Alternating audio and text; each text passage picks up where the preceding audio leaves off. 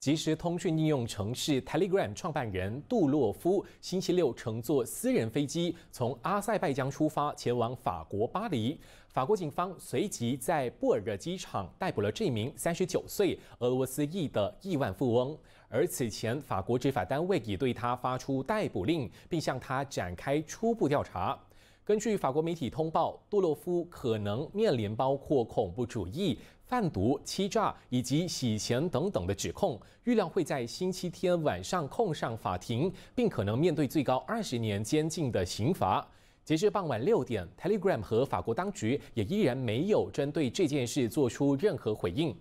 另外，自二零二二年二月俄乌战争爆发之后，Telegram 一直都成为有关战争和政治的主要内容来源。但是平台并没有过滤相关的内容，一些国家也曾试图向它施压，但 Telegram 认为他们应该保持中立，不应成为地缘政治的参与者。